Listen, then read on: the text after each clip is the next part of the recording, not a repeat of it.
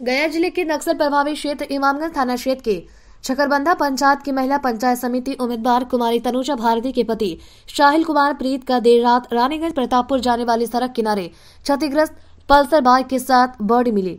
पर एक परिवार के अनुसार रास्ते से गुजरने वाले लोगों ने कॉल कर जानकारी दिया कि भीड़ा के पास बाइक से दुर्घटना हो गई है। तभी आनंद फानन में परिवार वाले लोग पहुँचे तो देखा कि साँसें नहीं चल रही है। वहीं परिजन हत्या की आशंका जताते हुए इमामगंज के डुमरिया मोड़ पर शव को रखकर घंटों सड़क जाम रखा।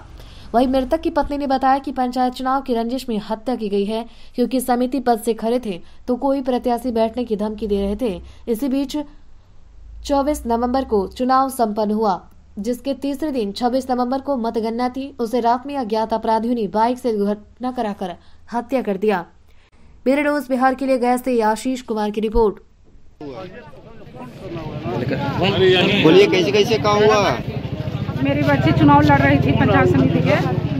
तो नॉमिनेशन हो गया उसके बाद लोग बोले कि मतलब आप साहिल जी चुनाव नहीं लड़िए चुनाव नहीं लड़िए। आप बैठ जाइए। तो नहीं तो फिर बहुत मतलब अंजाम बुरा होगा मतलब समझ फिर समझ लीजिएगा।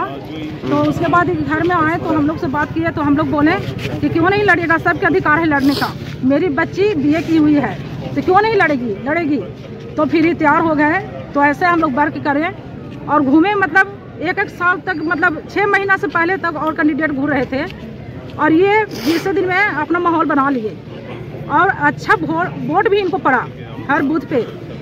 इसी दरमियान में कल आज मतलब जाना था इनको ये 26 को। काउंटिंग में। काउंटिंग में जाना था तो ये अपना घर जा रहे थे। यहाँ से ससुराल से अपना घर जा रहे थे गाड़ी के लिए। समझ गए कि गाड़ी जाके ठीक करते हैं। काउंटिंग में जाना है। इस ये इसी के दरमियान मतलब ये मेरी बच्ची फ़ोन की तो बोली कि कहाँ है? तो बोले कि घर देखिए घर में ही नहीं थे।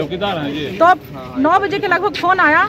कि से यहाँ एक मतलब एक्सीडेंट हुआ है। इन्हीं को मोबाइल से मतलब फ़ोन आया? कल रात में। हाँ रात में। एक्सीडेंट हुआ। तो हम बोले कि किनको एक्सीडेंट हुआ? तो हम बोले कि तो नंबर है मेरा मेहमान का।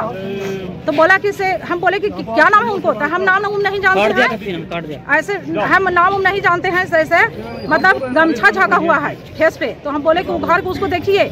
तो उघार को देखा तो बोला कि क्या पंचायत समिति चुनाव लड़ रहे थे? हम बोले कि हाँ। तो नाम साहिल है। साहिल है। हम बोले कि साहिल है। तो हाँ साहिल नाम है।